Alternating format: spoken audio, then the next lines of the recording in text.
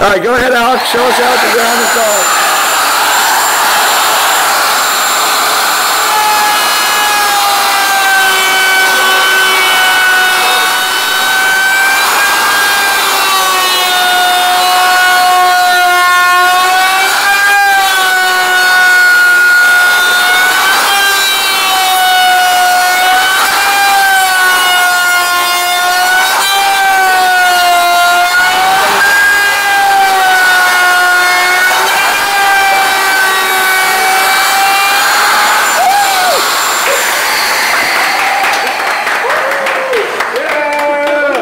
Wow.